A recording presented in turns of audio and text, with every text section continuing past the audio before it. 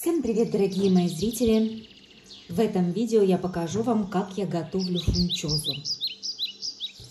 А, что мы делаем с самого начала? Нам нужно залить с вами фунчозу. Заливаю фунчозу кипятком. Ее варить не нужно. Ее заливают кипятком на 8-10 минут. Вот так мы ее опускаем в кипяток. И оставляем на 8-10 минут. Отставляем. И я не буду показывать, как э, нарезаются все эти овощи в видео. Просто скажу, что э, я нарезала мясо соломкой, перец красный, морковку, огурец, лук. И сейчас я пойду э, уже готовить, пока у меня здесь заваривается фунчоза. Разогреваем сковороду. Так, добавляем сюда 2 столовые ложки растительного масла. И сейчас мы будем пассеровать морковку.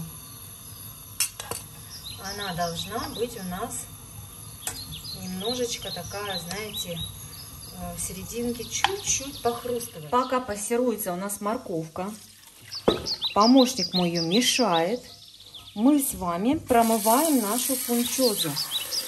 Нужно очень хорошо ее промыть, чтобы вымыть весь крахмал, чтобы она у нас не слиплась. Очень-очень хорошенько промываем нашу фунчозу. Оставляем ее, чтобы стекла водичка. Так, далее, смотрите, пожарили мы морковку. Отправляем нашу морковку прямо в фунчозе. Ставим сковородку опять на плиту. Добавляем опять же раз, две столовые ложки растительного масла. И отправляем сюда же пассероваться перец. Значит, пассируем перец до полуготового состояния на сильном огне.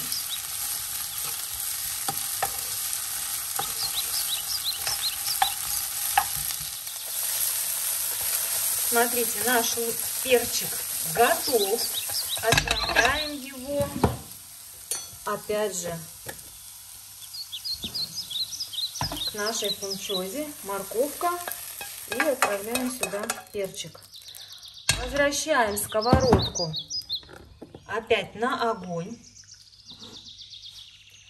Все то же самое добавляем 2 столовые ложки растительного масла. Прибавляем огонь. И отправляем сюда огурец. И начинаем тоже его обжаривать до такого полуготового состояния, ну, чтобы он был мягкий.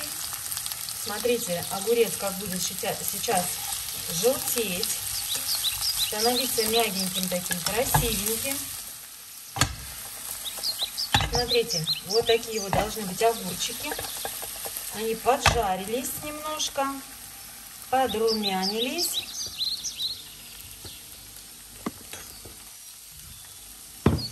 И то же самое мы отправляем их к нашей фунчозе. Возвращаем сковородку на плиту. Так. Опять кладем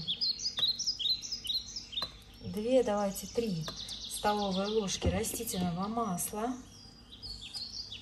Включаем огонь и начинаем жарить лук.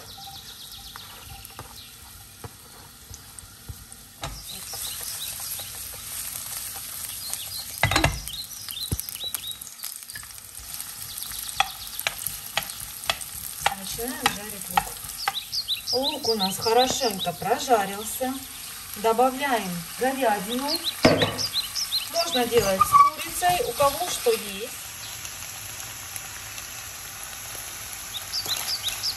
Так, ну вот мясо уже, водичка выпарилась, начала подрумяниваться. Я его посолила адыгейской солью.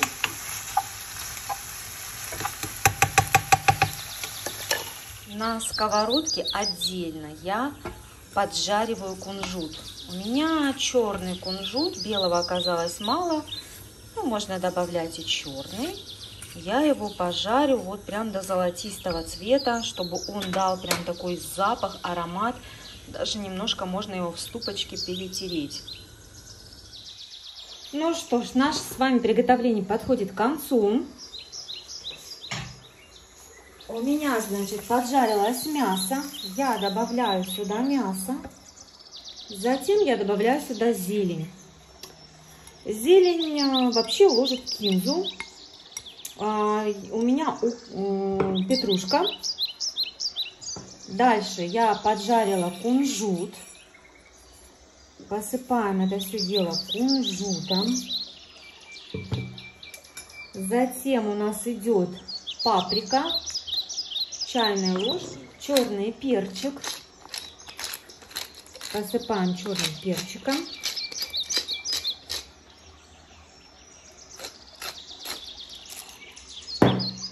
И 3 столовые ложки соевого соуса.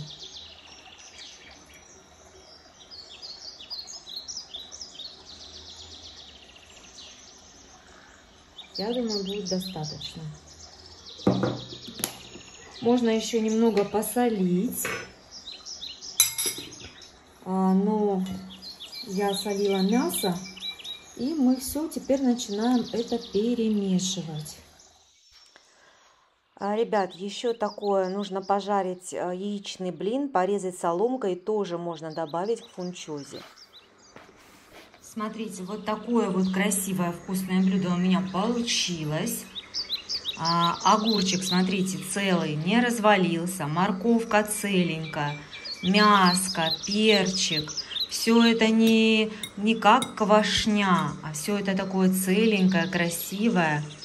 И это очень сытное блюдо. Так что вам рекомендую всем а, приготовить такое. Я думаю, что многие даже детки любят такое блюдо.